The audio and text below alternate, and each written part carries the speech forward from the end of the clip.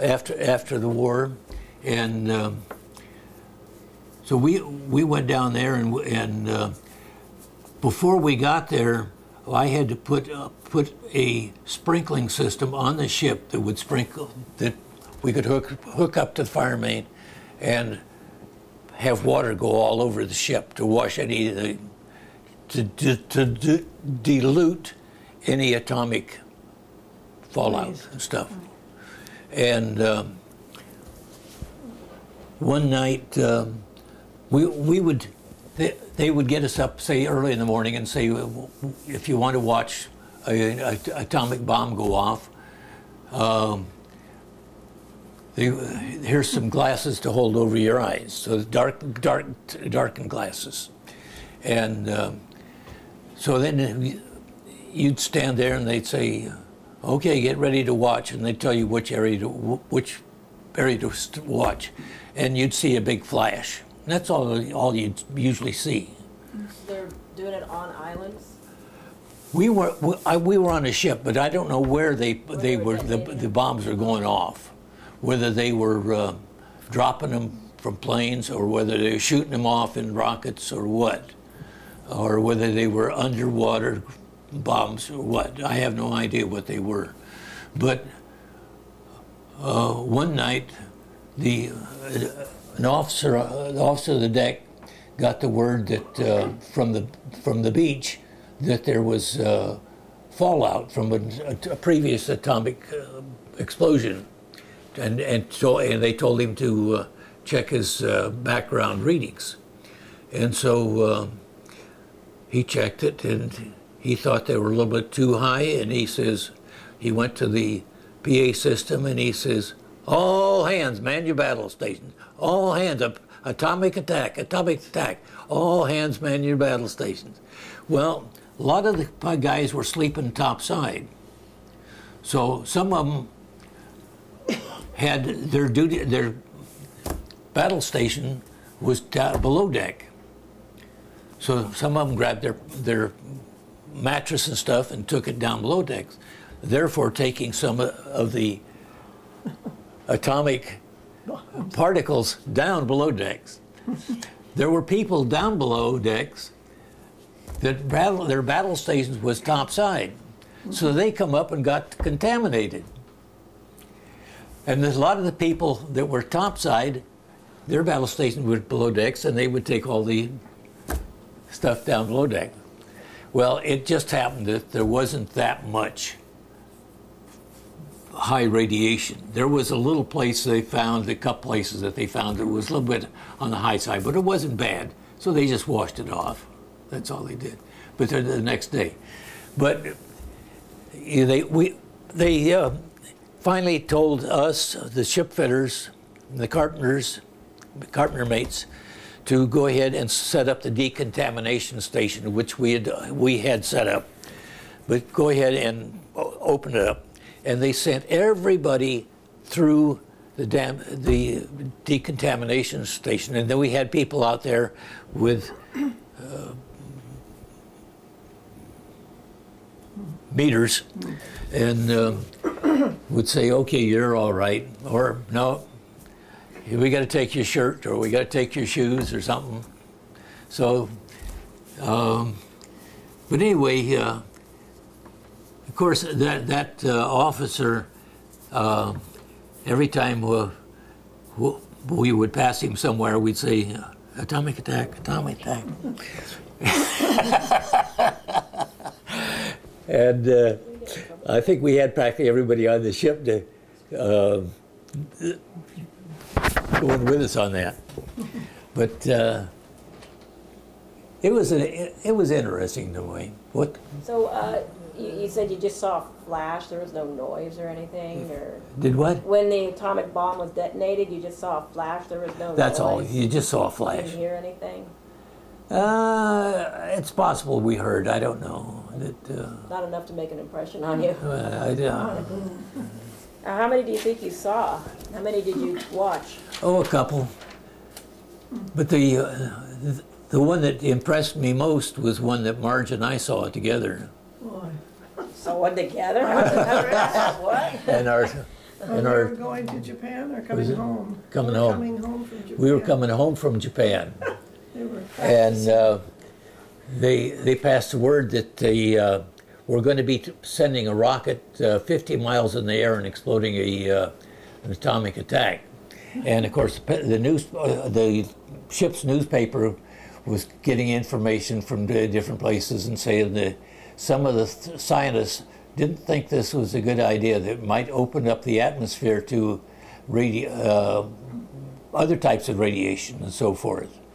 But anyway, uh, they, they said, well, the blast would be about 8 o'clock at night after dark.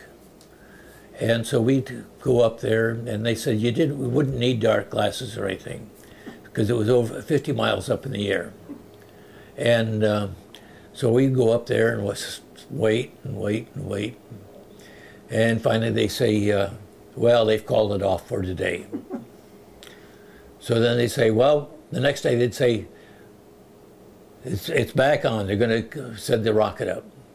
Well, we went up about three or four different nights, and they kept saying they're going to blast it off, and they didn't. So finally, I, I think it was our son that he finally, or was it the daughter, finally said, uh, I'm not going to stand up here. I'm going to go to bed. So he went off to bed. Well, anyway, they lit it off one night. But we finally found out why they kept putting it off because they were they were counting the amount of Russian vehicles that were in the area, ships and, and uh, submarines and so forth that were in the area is the reason that they were they were putting it off. They didn't have have all, all of them. But anyway, uh, they finally uh, set off this atomic attack, and it opened up like it, it opened an area that was like this all the way across from the northernmost part of the of and down to the south. You saw this beautiful area there. It was it was beautiful, Like wasn't day, it? daytime. Just lit Huh? up. Lit Yeah. up, lit up like daytime and it was really. But you could see then dark darkness off to the side. But it, it just looked like, hey, they opened the atmosphere, It was kind of scary. you know. Oh, you just wanted, can you describe it more, like what shape it was, or? It was just like a big arch, is what it was, and it just went. and It it wasn't real wide, and it was. Uh, it was long. It just went from one horizon to the other, and it seemed, if I remember correctly, it probably was like from the south all the way up to the north. Uh, do you remember it being any particular colors? Oh, Yellowish. yellowish, and Yellow. uh, I think there's a lot of different bright colors in it. lights. Yeah, it, it was beautiful. Was there any noise? Uh, again, any Noise? noise with it? No. It was just No, silent. no, it was Real silent. it was it was 50 miles in the air, and by that time the uh, Oh, we're just wondering. Uh, now that you've seen them detonated atomic bombs, uh, you had any opinions or feelings about atomic bombs in general? Or? Not a good idea. no, They're not safe. it's too bad. In a way, it's too bad it, it ever uh, they ever invented the atomic bombs, but it did cause the war to, the World War II to end with the Japanese, and I I firmly believe a lot of, along with a lot of people that it saved a lot of American and Japanese lives, even though it cost a lot of Japanese lives. It they were not ready to surrender, and they were arming themselves with everything they could get, pitchforks or anything else they could get hold of, and they were training the people to do to go in and uh, fight.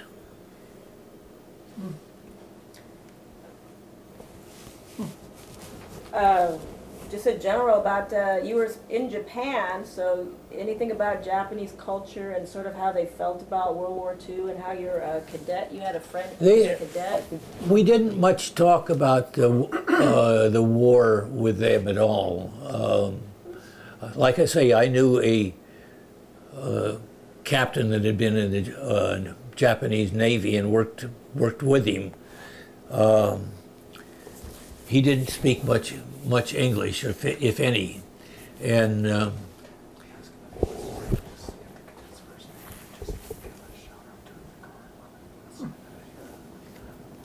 Uh, he wants to know.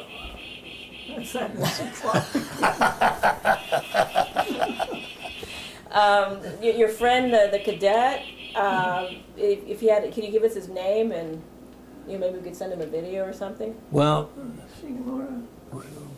you, you, you mean the cadets that Your, we, your friend, the cadet, Yeah. not, The ca- yeah. yeah, Shigemura. Shigemura. Yeah, um, We have his the last we heard was that uh, he, his wife was up in Yokosuka area, no, Yo- Yokohama area, and uh, so he moved up there to a small apartment to be with her, with her, and uh, what he, we haven't uh, been in contact with him much lately, so we don't know what the. She ended up with Alzheimer's, Mm, and right. she was still young. Wow. So, And if he wants to back up, just tell anything about the war, about the shelling, and uh, about the Tokyo Express stuff. Oh, did you, uh, yeah, we wanted to hear about the uh, Tokyo Express. Oh, the Tokyo Express. Well, there were uh, there was a um, group of uh, Japanese ships that, uh, for some time before we got into battle with them, they were they were down there, and there we would hear that the they would get in ba- in the battle with other some of our ships, and they uh, whenever they went down there, they were escorting uh, troop and uh, cargo ships down there down to different islands to resupply that uh, their their men and to go and invade other islands that anybody wasn't on and set up set up uh, places for um, to to fight from and to try and get airfields to uh, set up to bomb bomb us and everything. But um, uh, there was uh, the some of the other uh, Tokyo expresses that I understand were more devastating than ours was. There was other ships, uh, cruisers, and, uh, that were in battles with uh, with them before we ever got there. But it, it probably wasn't the same group of ships. It was just a, a group of ships that were being were supplying and being escorted to resupply, and that they called them Tokyo Express. And when we heard that they were coming down a certain way into Kolombangara and, and uh, Kula Gulf, we went uh, went out looking for them, and like I say, they found us. Hold the picture up and, is that where they Yeah, took this- your bow off? Yeah, that's The one. the ones that, that they took off on uh, Ju- uh, well, July July sixth, um, nineteen forty three. Uh, is when we got in our first battle with them, and that's when we lost our sister ship, and maybe a, a I don't know whether we lost a st- destroyer that time or not, but um, we got out as we got out of that uh, as soon as they, they stopped firing at us and we stopped firing at them. We hightailed it and we left a, a, destroyer back there to pick up as many survivors from the Helena as we as they could. And uh, some of the sailors uh, were able to get over to that weren't picked up. Were able to get over to an island, and uh, the next morning they sent somebody down there to see if there was anybody around, and they found these sailors on that island. They they brought them back, but um, we went into uh, Tulagi, I think it was, and there was a repair ship there,